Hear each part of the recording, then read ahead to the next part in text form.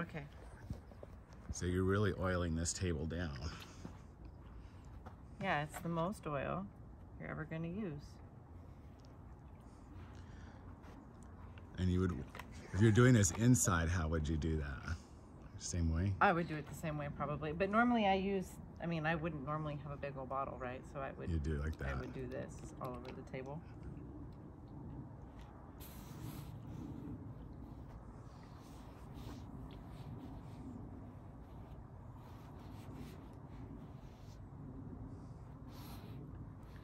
You use this much oil so that way you can comfortably and easily get under the under the body.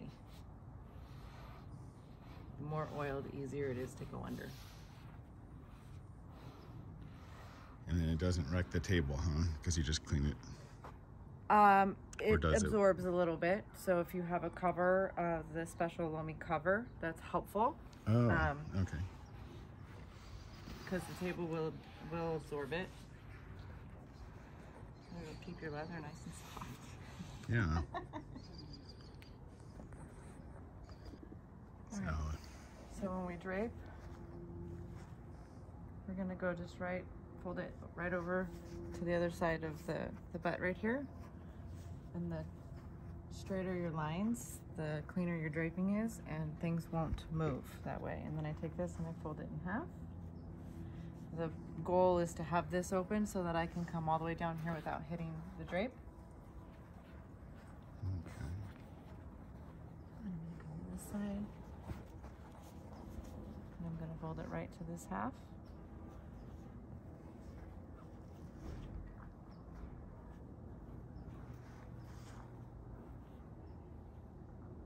There we go.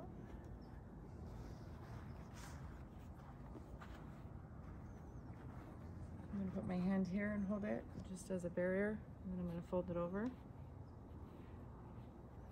I'm gonna tuck straight down. And fold this in half. Fold it in half again. That's a lot of oil. That probably helps. The oil helps keep it in place. There we go. So, Okay. She should feel nice and secure and it should be tight. Okay. And then I'll oil myself a little bit and then I'll um, incor- you incorporate it into the massage, but you start by oiling um, the entire body.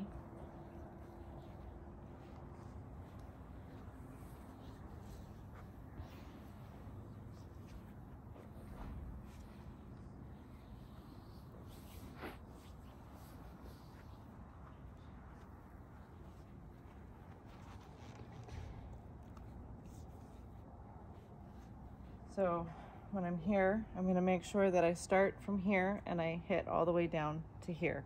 And I'm hitting the trapezius muscles. okay. And I'm gonna um, bend my knees and go to the horse stance and then lean to the side. And that's kind of where I'm at the whole time.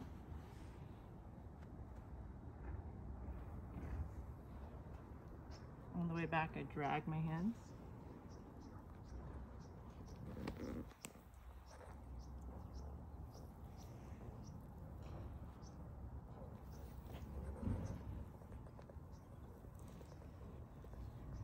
Then from here, I'm gonna go and then I'm gonna step around.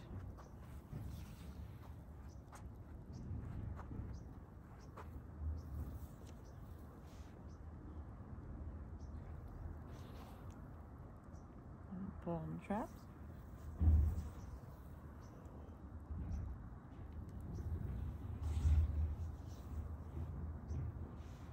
From here, I'm gonna go straight. I'm gonna miss the elbow. And I'm gonna, my elbow's gonna swing in. I'm gonna go down right to the wrist. I'm gonna come back and I'm gonna kind of shove my elbow in her armpit and push there. And then come up. And I can get the erectors.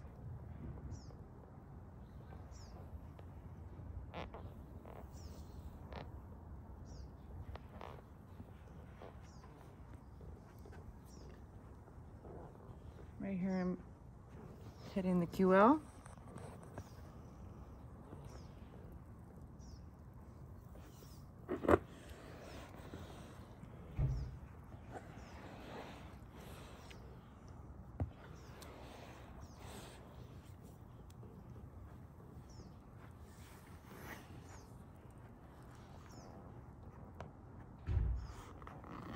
Drag back.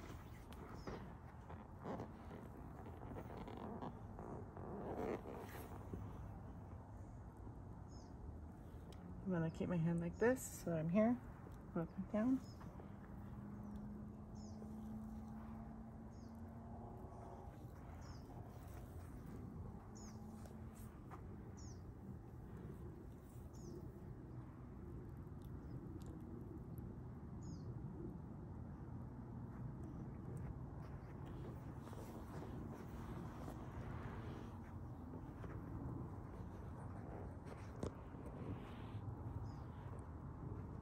Just turn around and I'm back to the beginning.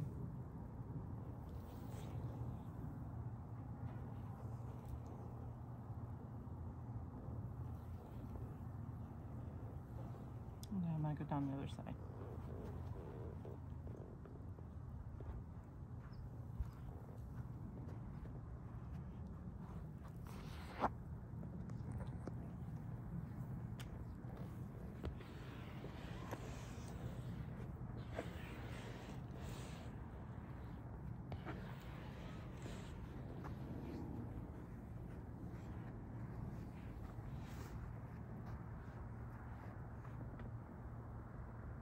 Hitting the IT band.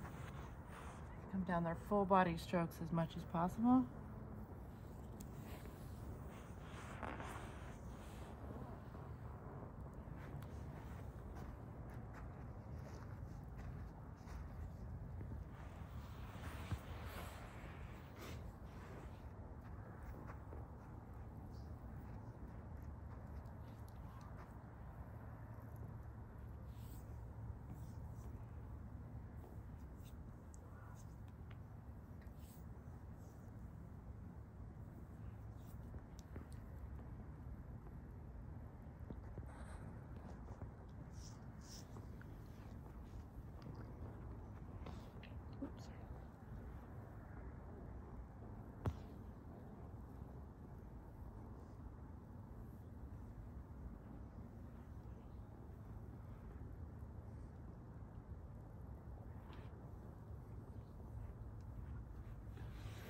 Grab the elbow here to support it. Put her hand down so it doesn't just fall.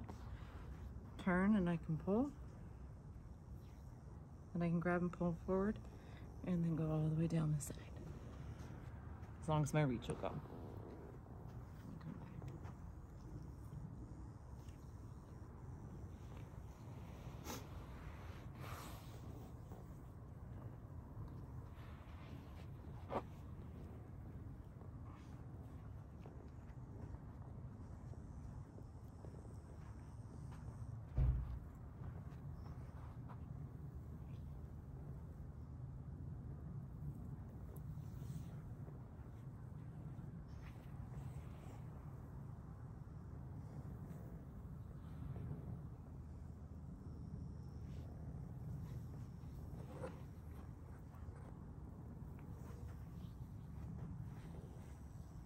This is one, two, three.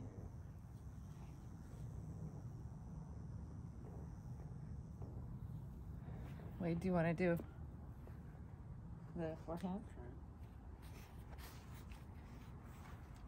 Huh? I'll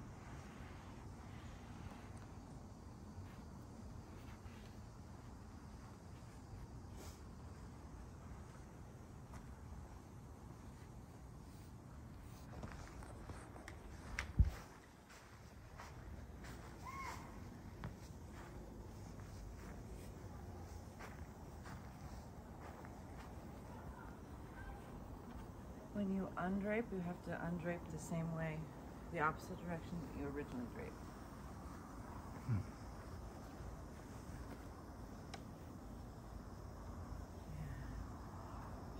Breast drape?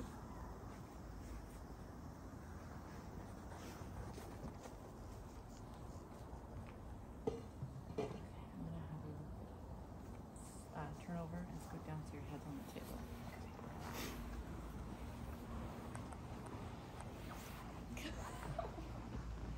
Okay.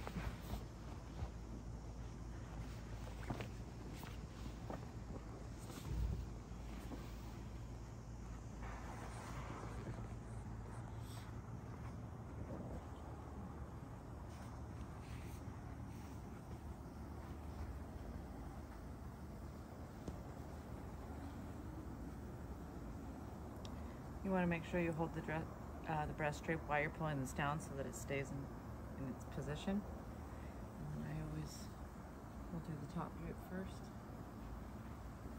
I'm going to come here, the other side of her body, just like I did before. To.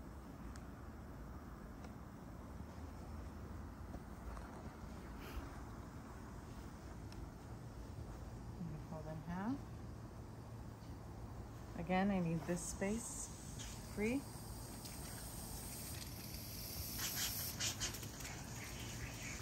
Not gonna. It's not gonna sprinkle on us. There's no actual grass here, so it's no just drip. Well, it might sprinkle you, but I'm gonna. That's okay. I'm gonna run. I'll just stay here. it's my shower.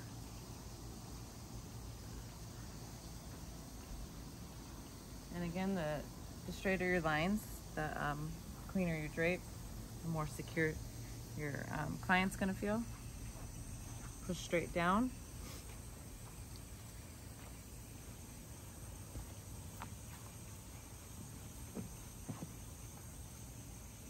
There you go. Now I'm gonna come here. I'm gonna just pull this to the side this way, and then I'm gonna fold it over.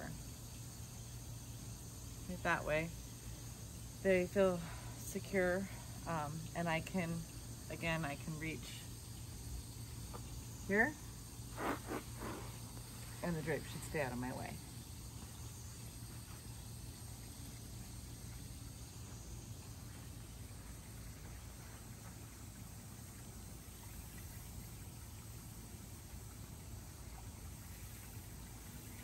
I'm gonna go, I can go under the body like this and I'm gonna drag my fingers back and I can also go across the body and drag my fingers back. And this motion is um, like a give and take, like you're, uh, a cat is, is that called, kneading something, Yeah, right? yeah. So it's, it's like this the whole time.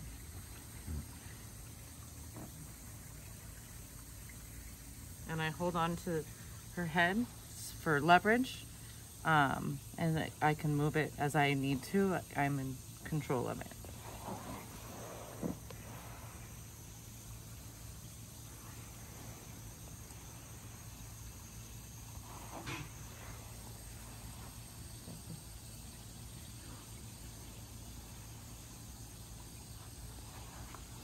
I'm also in that horse stance again. When I'm ready to go, I'm gonna go this way. I'm gonna pull it out. I'm gonna take this one. I'm gonna come over here. I'm gonna go under the body this way.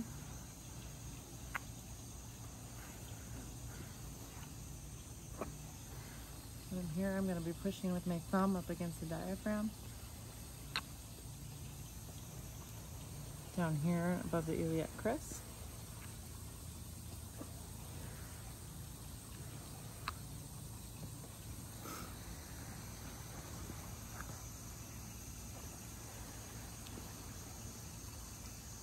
Down the legs. I'm just going to go from here.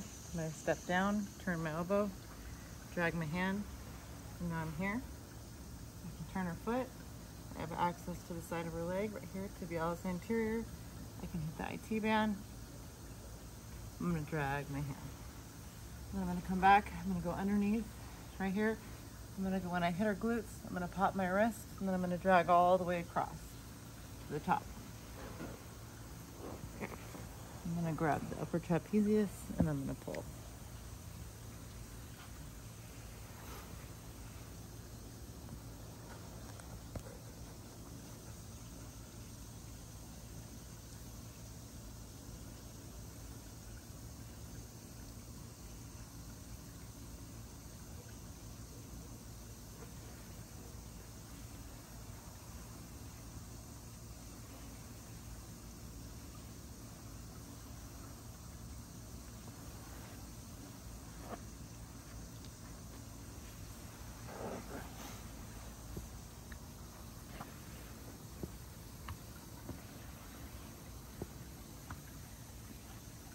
Go here. I'm gonna pull her arm straight. I'm gonna, instead of going on the inside, I'm gonna go underneath her arm. I'm gonna turn, so I'm gonna go all the way under. I'm gonna turn, and I'm gonna walk, walk it out and hit the traps on the way out. From here. And I'm gonna use my body, not my muscles, to do it. Again.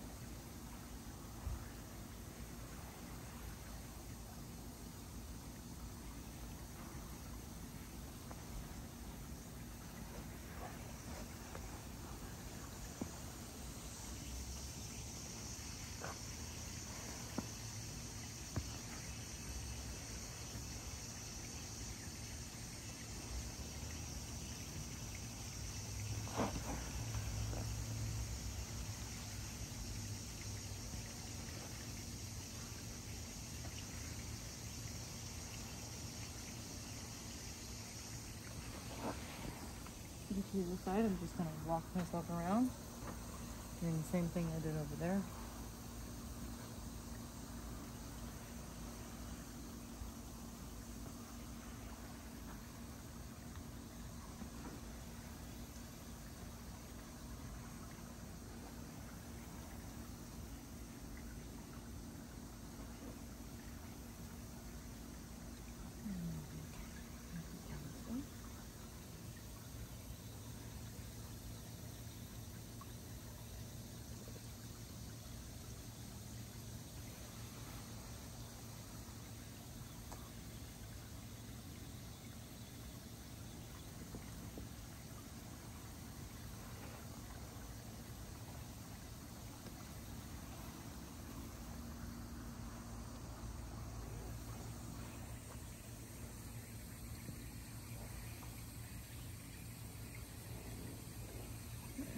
come all the way across body pull on the upper trapezius. I'm dragging my fingers down the spine on the way back. Hmm.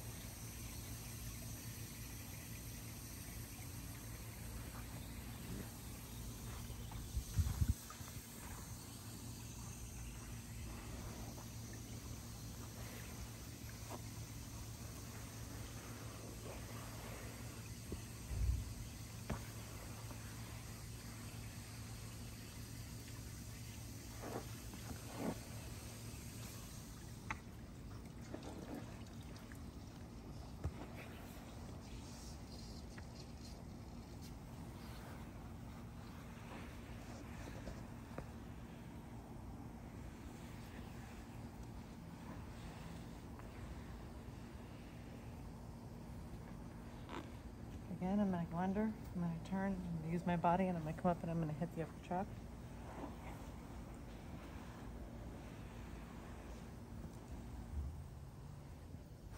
This move can be um, hard to do, so if it hurts your shoulder, it's one that you probably should skip.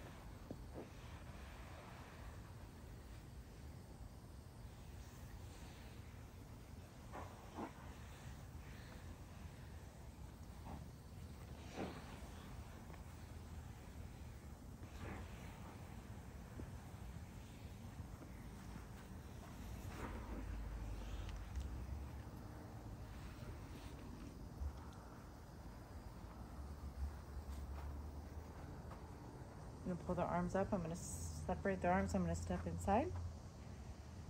I'm gonna go this way. I'm gonna um, kind of go up the erectors and I'm gonna go around the scapula and come out and pull.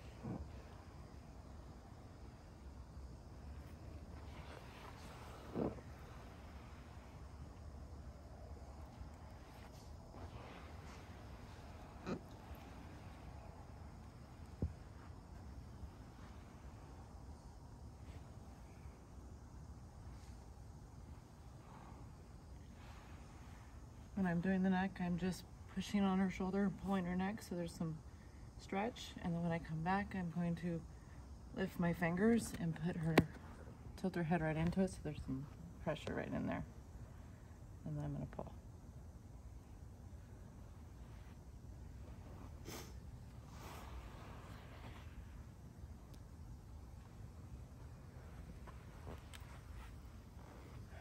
Are we good? All right. Thank you so much for that.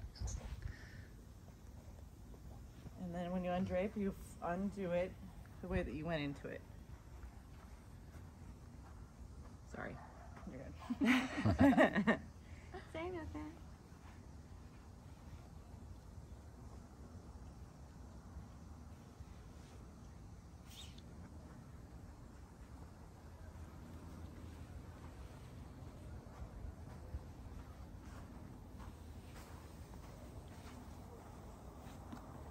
and I'm going to turn her sheet so that she can get up.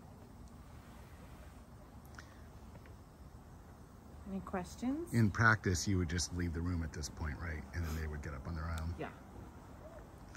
I just have a question. Is there any modifications you make if the person's a different, like a larger body type or one that's hard, you know, real big person's So harder to get? If somebody's larger than me, because Mhm. you should definitely try to match your um, body style, body frame when you do this massage because it's a lot of underbody. Um, So, um, the more oil you have, the easier it is to go underneath. The one that I probably wouldn't do is the one where I go under like this Right. and then go up because um, typically that's going to just hurt your shoulder. So, Okay. um, that would be the main one that I do. But at, any point, if you're doing something and it doesn't feel right, mhm. you shouldn't do it. Um, the person on the table is never going to know Right. that you didn't do something. Yay. Well, thank you, Brooke. Thanks. Thank you, Wade. Amazing. I'm going to stop it now, so.